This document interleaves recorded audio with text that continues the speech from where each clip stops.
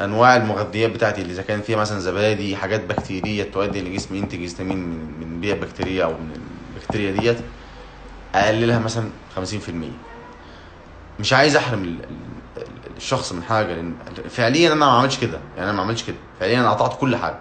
قطعت الأكل اللي بيعمل هيستامين قطعت كل حاجة ليه؟ لأن قطعت كل حاجة لقيت الأعراض كلها راحت ببدأ أحط الحاجة شوية شوية تاني وأشوف أنا إيه اللي بيحصل معايا من الحاجات اللي بحطها في الجدول الغذائي بتاعي. احسن اعيش ثلاث أربع شهور من غير ما أقدر اكل حاجة. ولكن هحكي لكم حاجة كمان زيادة لازم تعرفوها يعني. آه كتر ما كان ما كان في تجمع هيستامين في جسمي من المواد البنائية ومن الأكل اللي أنا كنت باكل فيه هيستامين عالي والأكل اللي كان بيخلي جسمي ينتج هيستامين بشكل عالي. آه والبكتيريا كنت باخدها من الزبادي يوميا وال- والمخللات المخلل كنت باخده يوميا قبل التمرين okay الحاجات دي كلها خلي جسمي ينتج هيستامين بشكل عالي زائد إن ال life stresses اللي كنت عايش فيها وقلة النوم. كل ده أدى إلى وجود مشاكل في المعدة في طبيعة البكتيريا في المعدة والأمعاء وصحة الأمعاء وزادت الالتهابات الالتهابات الموجودة في المعدة عندي. وده أدى إلى قلة إنزيمات الهضم قلة حموضية حموضية المعدة قلة حموضية المعدة ادت إلى مشاكل في هضم البروتين هضم البروتين قل هيستامين هيبقى في مشاكل فيه هيستامين هيزيد فالهيستامين كده جاي من طريق البروتين بشكل عالي كميه البروتين بتاعت الدايت بتاعتي عالية في التجهيز. آه، مشاكل حصلت لي في المعدة. قال عملت تقليل من إنزيم ال DAO الهيستامين بتاعي ما بيحصلوش ما بيقلش ما بيحصلوش تكسير ويطلع من جسمي عشان ال DAO قليل الهيستامين بتاعي عالي. وجود مواد زي الترين عموما الهيستامين بيطلع منين؟ خلايا معينة اسمها ال mast cells تتحفز عن طريق زي مثلا زي ما تقول مثلا آه، إنزيمات معينة أو بروتينات معينة آسف إنزيمات بروتين زي بروتينات زي كل واحد آه، اللي هو ال IgE immunoglobulin حساسيه زادت شوية. ياه ليه؟ عارفين ليه زادت؟ تضحكوا والله. توتر شوية نبضات قلب مرتفعة sympathetic nervous system شغال أوبا. بس أنا ما باخدش انتي يعني الحمد لله. فأنا عارف الموضوع اللي أنا فيه إيه. الحمد لله يعني. آه ف المهم ال mast cells تتحفز تنتج لك هيستامين ال mast cells فيها androgenic receptors يا سلام يا سلام وبكميه كبيرة كمان. يعني أي حاجة ليها خاصية اندروجينيه عالية هتخلي جسمك ينتج هيستامين زيادة. فأنت كده عند عندي بقى إيه؟ طريق الهرمون طريق التغذية طريق ال- ال- ال recovery اللي هو قلة النوم التمرين الكارديو انخفاض السعرات الحرارية نفسه بيعتبر stress. البيئة اللي أنا كنت عايش فيها واختلاف ال- ال- ال- البيئة اللي كنت عايش فيها زائد المشاكل اللي حصلت لي في كتفي والبواسير والحاجات دي. كل الحاجات دي ستريسات دي اتجمعت بوم! الجهاز الهضمي بتاعي خرب. خرب فعليا خرب يعني. ما أقدرش آكل خبزاية واحدة في اليوم. انتفاخ عملاق غازات عملاقه ادي إلى وجود مرض الجهاز ال- ال- ال- ال- الهضمي عندي. هل المرض ده نتيجته إيه؟ ارتفاع إنزيمات أو ارتفاع إنزيمات الالتهابات في جسمي. بين في تحليل الدم. بيئة ملتهبة في الجهاز الهضمي لازم تقل. البيئه الملتهبه دي أدت اختلاف في مستوى البكتيريا زي ما قلت لكم طلعت للمعدة عندي فوق وسببت لي مشاكل اسمها leaky gut أو SIBO لأن بيجي لي غازات بشكل فظيع جدا. لو كلت حليب أو شربت أو بدغيت ألبان مش حساسيه lacto أنا عندي حساسية جلوتين ولكن مش كده. فكده لو أنا عالجت مشكلة ال SIBO اللي عندي مع ال histamine intolerance ال histamine intolerance هي اللي جابت لي SIBO دي. الله يخ SIBO يمشي. الحمد لله. فمشكلة ال SIBO زي ما قلت لكم بكتيريا مكانها مش سليم اللي هي طلعت من ال من ال من ال من ال small intestinal أو إحنا بنسميها آم، المعدة الامعاء الامعاء الامعاء الصغيره الامعاء الغليظه والامعاء الرفيعه الامعاء الرفيعه آسف على الأحياء. طلعت من بكتيريا إلى مكان المعدة أدت إلى إنها تتغذى على السكريات. يعني أي نشويات اخدها سريعة أو بسيطة وكميه فركتوز عالية كمية سكروز عالية كمية في حاجات ما ينفعش اخدها يعني سكروز ما ينفعش اخده أنواع اللي هي ال- ال- ال gum الحاجات المكثفات في الأكل protein isolate الحاجات دي ما ينفعش اخدها أي حاجة تضايق جهاز الهضمي بتاعي وعارف إنها هتسبب لي غازات والحاجات دي بدأت تنزل طريقة الشوفان هنزلها بس هخف عمي والله أعمل لكم كل كل حاجة تحبوها. أنا نفسي ومبسوط من طبيعة الطبخ الحمد لله. يعني في مرض الحمد لله واني عشان بطبخ كويس فمبسوط يعني.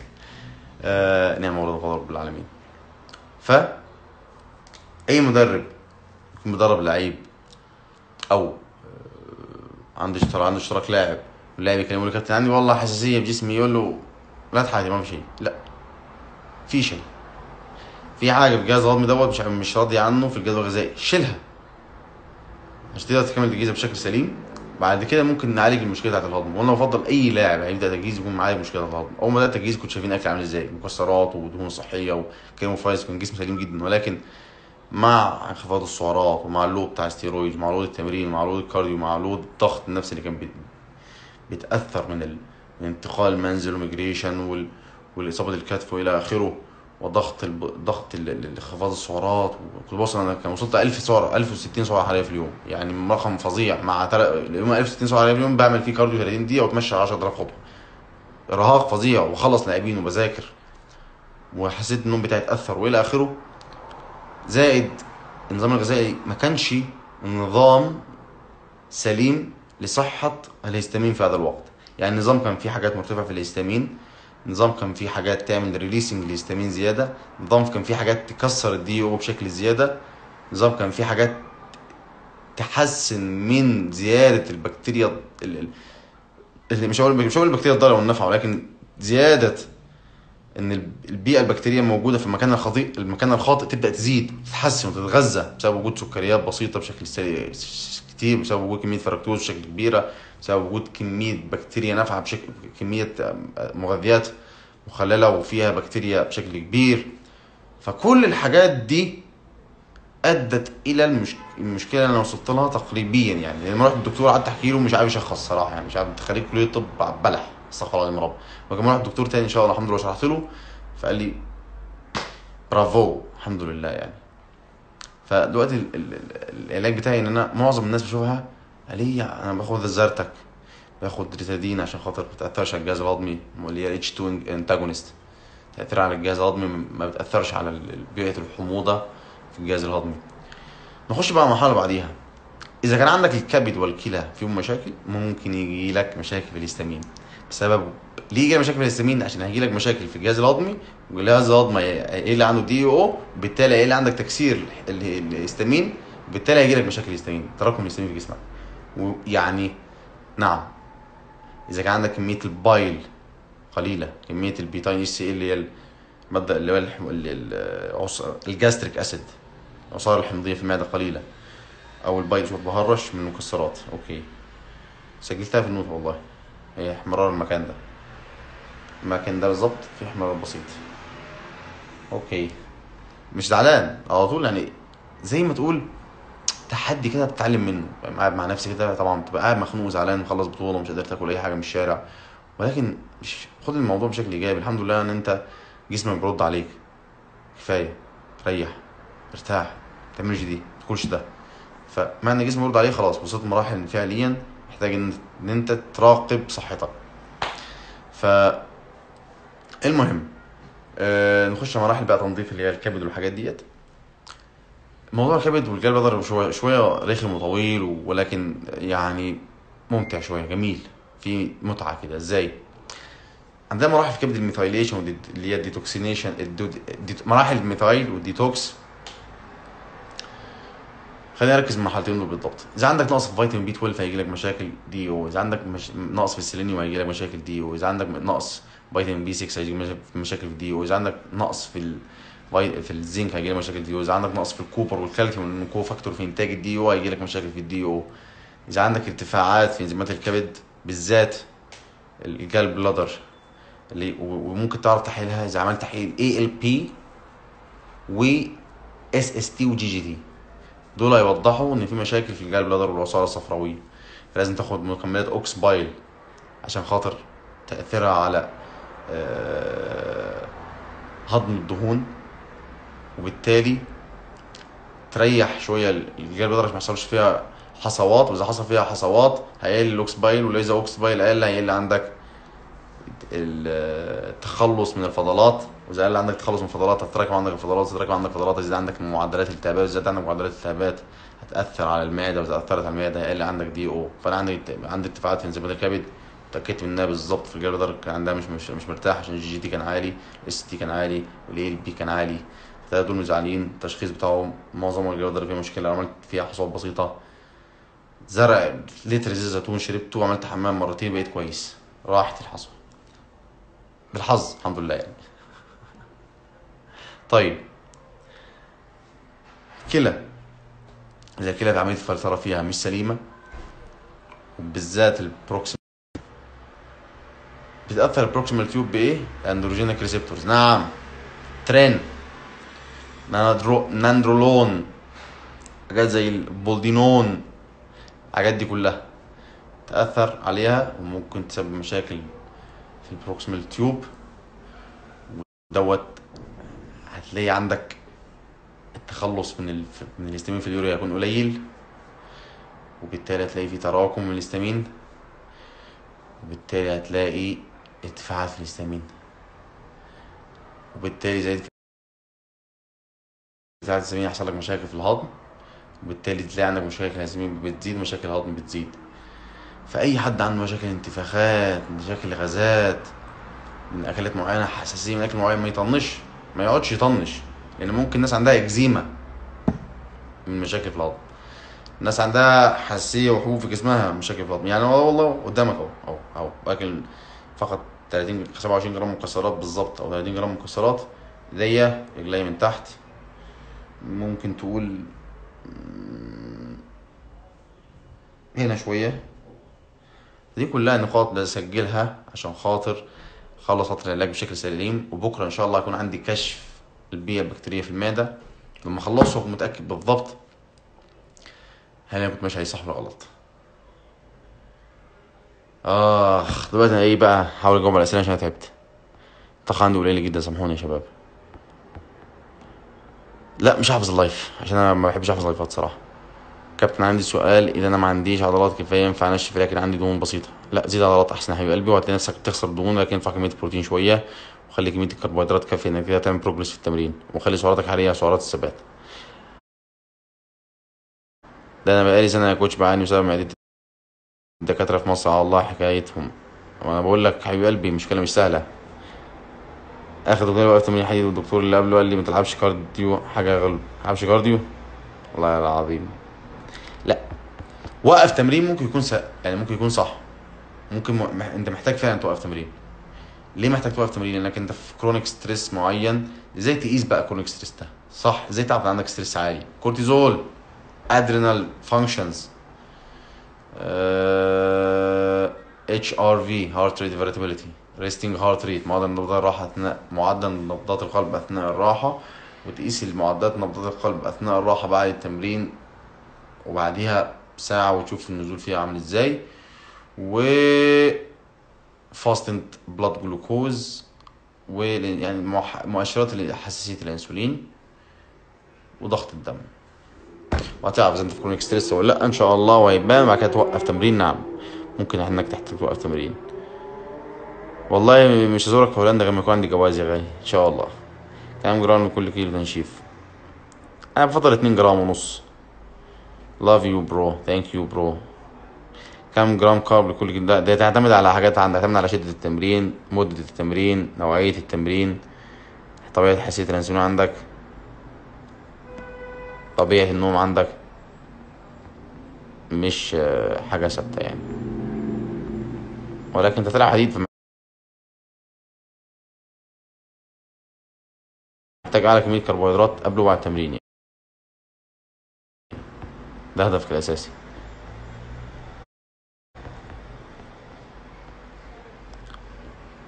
هبدأ أجاوب على الأسئلة. الفترة الأولى كانت من اللايف. اللي استفاد منها استفاد ما استفادش منها معلش. إن شاء الله المرة الجاية. حاولت أنا بسيطة مش عايز أعقد عليكم الأمور. لنا بالشفاء باين الموضوع. قل عدد جولات و- وإنك كابتن هل هل النوم يؤثر على الهستامين؟ نعم. أكيد طبعا يعني. نوم قليل. stress عالي stress عالي هستامين عالي؟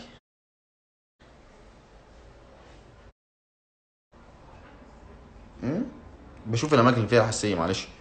عشان بشوف بتطلع في أماكن مختلفة ونفس الأماكن. نفس الأماكن. okay هنا هنا أعتقد. okay.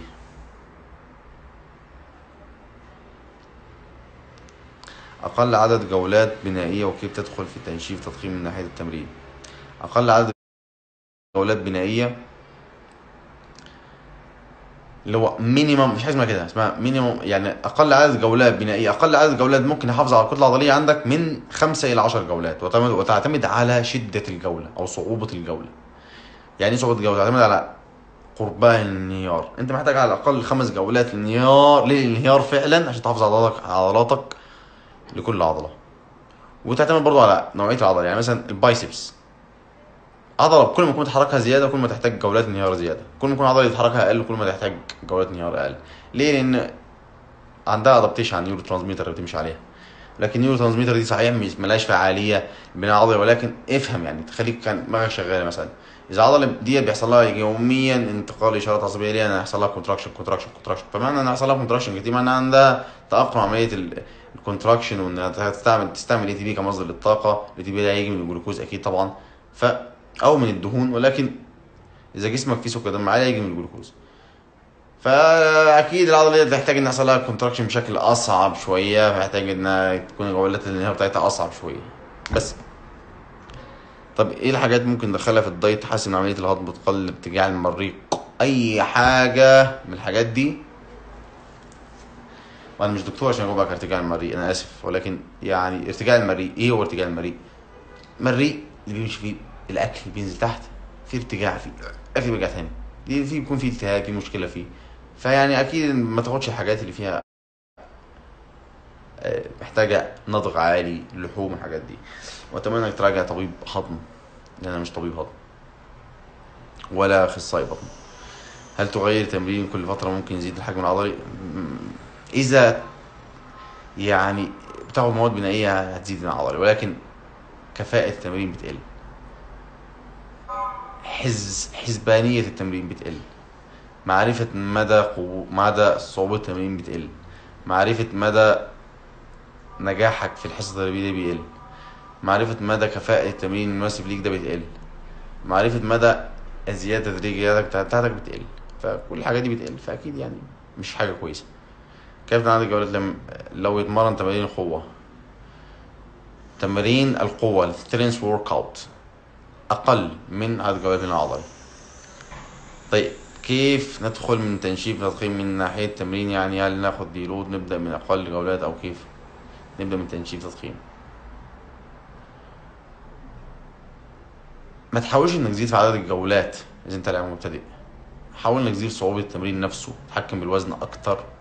زيد الوزن أكتر زيد تكرارات أكتر. لما تنجح في دول يبقى زيد جولة زيادة. أوكي؟ بس سهل يعني.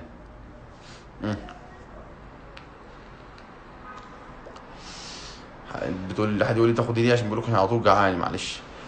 ولازم اسيب 3 4 ساعات على الأقل بين الوجبات عشان أعرف أقيس مشاكل الحساسيه بشكل عادل وأشوف إنها بتطول معايا قد إيه. يعني دي بقى لها معايا ربع ساعة تقريبا.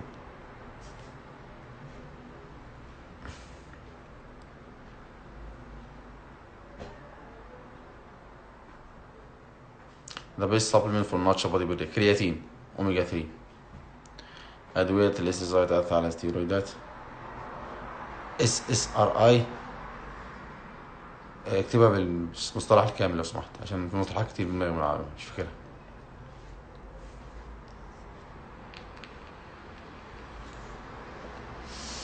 أنا باقي 10 دقايق بالظبط وهقفل ال live إن شاء الله. أو أقل كمان 8 دقايق.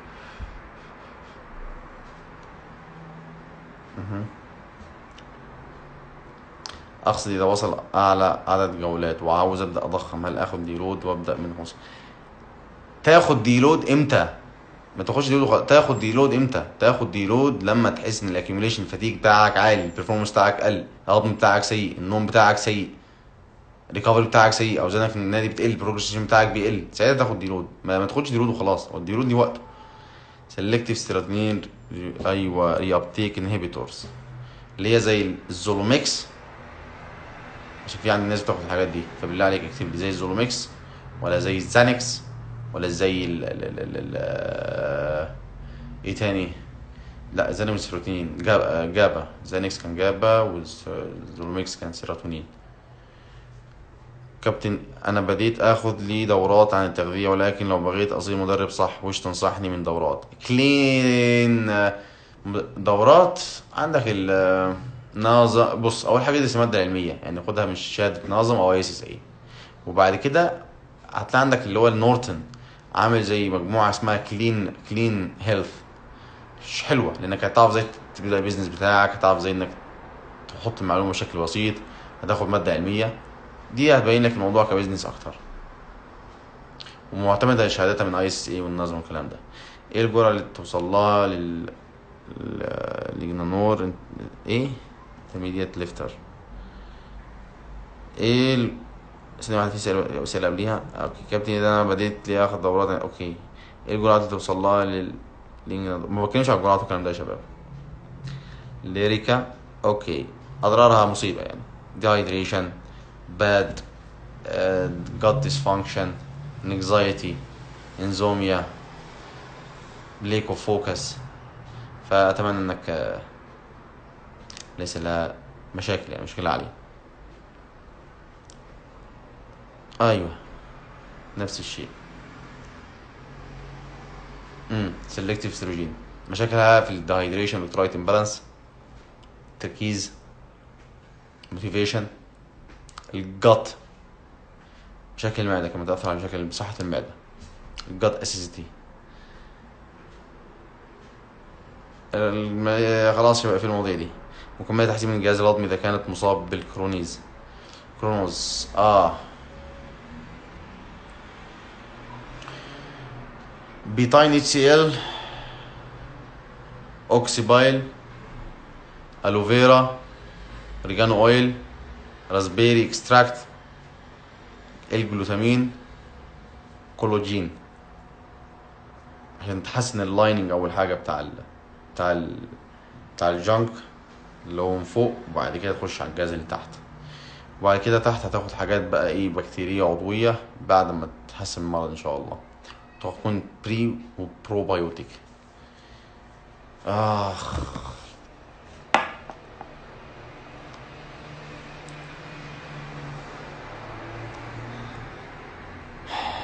Requires PCT if your blood test FSH and LH is very low or zero.